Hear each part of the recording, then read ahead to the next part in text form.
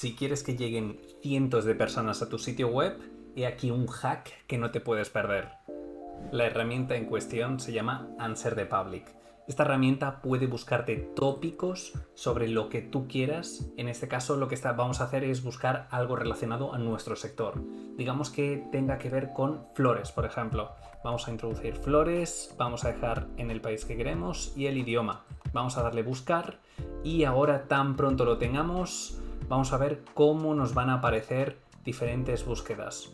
Una vez acabado este proceso, directamente vamos a tener no solamente todas las palabras clave que vamos a recibir, sino que además vamos a tener una rueda, como aquí vemos.